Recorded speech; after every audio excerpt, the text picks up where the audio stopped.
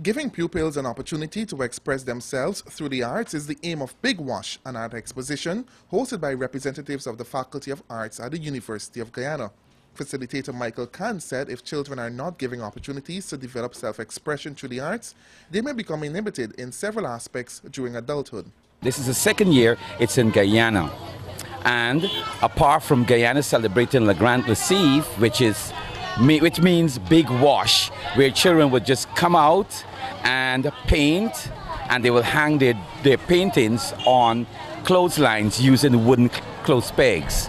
That's the initiative. We've got teachers from the 2207 class at the university as facilitators and stimulators. Kahn also explain that while the arts do not receive much attention when compared to the sciences and other disciplines, it's the building block of self-creativity and independent thought.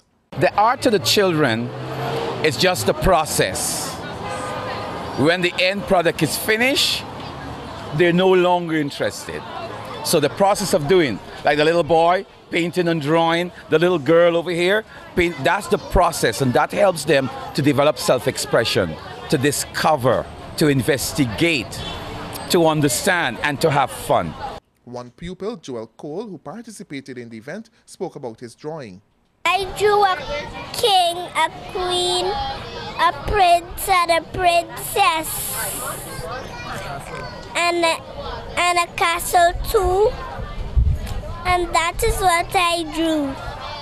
Very much impressed see children imagination, you know, could be so so wide, so wide.